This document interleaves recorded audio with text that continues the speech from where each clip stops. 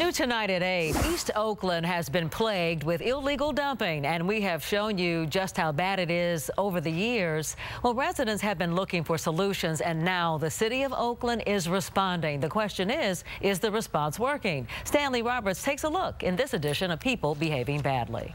You're looking at a dump site in Oakland, but before you get upset, this is actually a good thing. How could that be, you ask? Well, listen closely.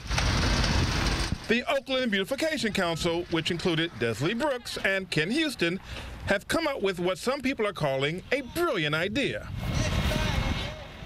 In an attempt to stop scenes like this, where people were dumping trash and garbage on residential streets, free dumping sites were set up all around East Oakland. So instead of a people behaving badly segment, I'm going to call this people behaving nicely by putting up the dumpsters all around East Oakland. These dumpsters, like this one at 56 International Boulevard, while overflowing with trash and bulk items like mattresses, it is preventing them from trashing their own neighborhood. And even though the site is closed, people are still dropping off items, which in a way is still a good thing. You guys stop taking a picture of me. Over on 66 and Foothill, yet another dumpster that was overflowing, which demonstrates the need for all of this around Oakland. The event was set to last for four days, but people came from all different parts of town, and in some cases, different cities like Hayward and San Leandro.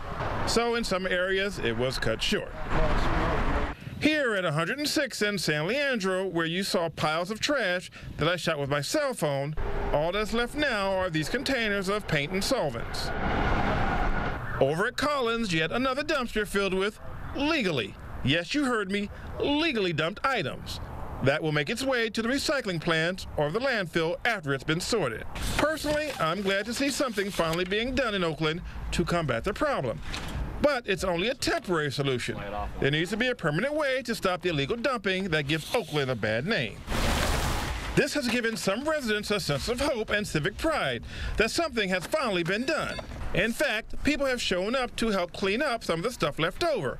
And the city workers will be back to pick up anything waste management could not fit on the dumpsters. Finally, some results. In fact, look at Pearmain, which used to be ground zero for illegal dumpers. I don't think I can ever say I've actually seen the sidewalk. I'm impressed. In Oakland, Stanley Roberts, KRON 4 News.